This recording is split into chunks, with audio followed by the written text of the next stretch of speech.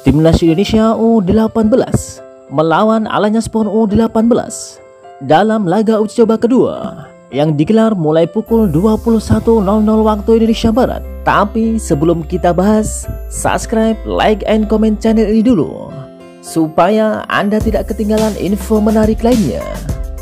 Kami akan menyajikan informasi terkini, terbaru dan terupdate seputar Timnas Indonesia. Kalau sudah, mari kita lanjut.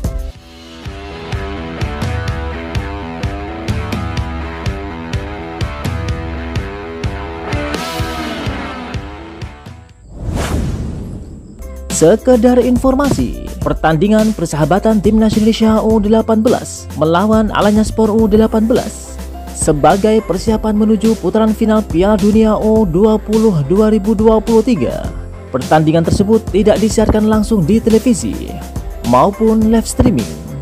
Piala Dunia U20 2023 yang bakal berlangsung di Indonesia memang masih cukup lama namun PSSI sudah mempersiapkan diri dengan mengirimkan skuad timnas Indonesia U18 ke Turki untuk menjalani pemusatan latihan sekaligus melakoni beberapa laga uji coba sepanjang bulan November 2021.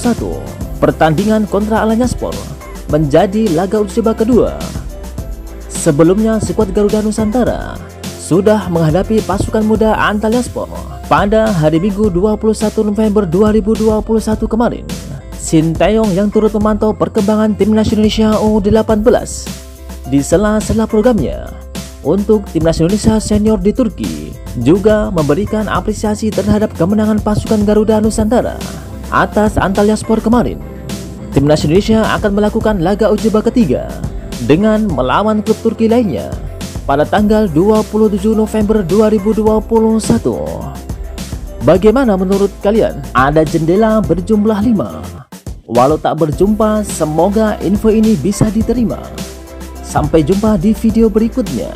Semoga Anda diberi rezeki yang melimpah, kesehatan yang berkah.